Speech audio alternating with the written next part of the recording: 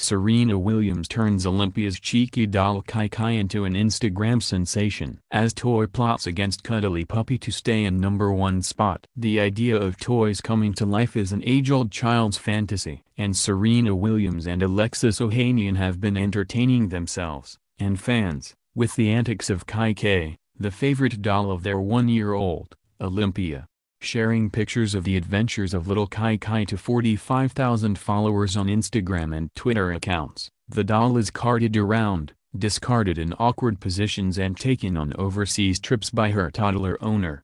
Most amusingly, little Qai Qai plots a way to remain in number one position, trying to convince Serena to ditch a new puppy dog cuddly toy gifted to Olympia.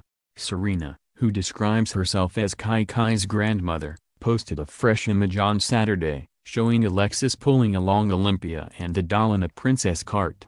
The doll's face had been photoshopped to make it appear more human in the image, but in reality Qai Qai is a regular, and rather less nightmare-inducing, baby doll. As shown on Qai Qai's Instagram account, in Serena's imagination, when Olympia isn't watching she wears her terrifying human face, before reverting to doll form the moment the toddler glances over. Almost caught me slipping. She captioned one shot, in which Olympia quickly glanced round. The doll can be seen being carted around by one leg by her owner, buried head first on the beach, or in the sand pit. While Qai Qai bears no ill will for the ill treatment, after all, her owner is an unsteady infant, she does take more than her fair share of knocks.